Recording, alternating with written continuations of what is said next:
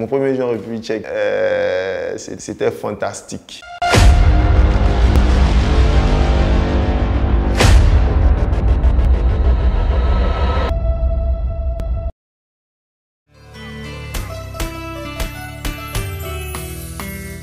Mon premier jour en République tchèque, euh, c'était fantastique.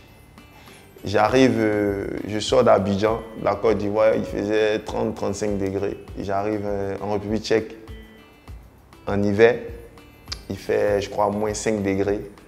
Neige. Voilà, comme on le dit, hein, premier gars où on baigne. Mon premier job de vacances, euh, est-ce que je me rappelle encore? Je crois que j'ai vendu Banger à la GESCO. Je vendais Banger.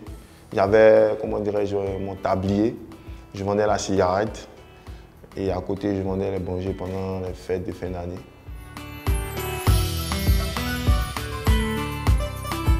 Mon premier jour au village, euh, dans le village de ma mère, Zaliowan, à Daloa, après Ki, Ki La chose que je me rappelle plus, j'ai mangé un piton. Ça, ça m'a marqué. Donc, euh, je pense que c'est le souvenir que je garde plus du village.